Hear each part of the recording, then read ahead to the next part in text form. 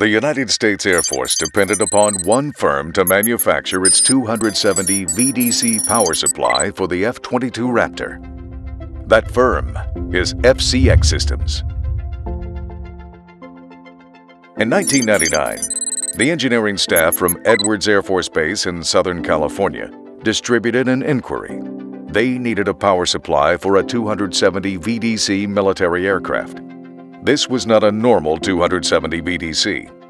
It required a fast, dynamic response with excellent voltage regulation.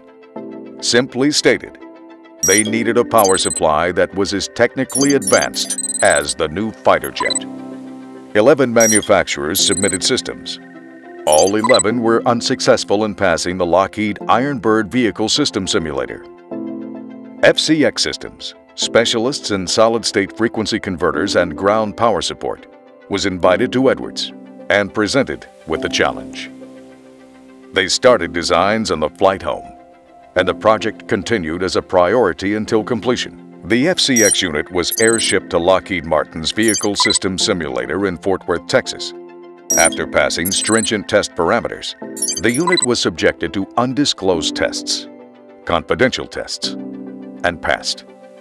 The FCX unit was cleared for the existing test program as well as non-disclosed future programs.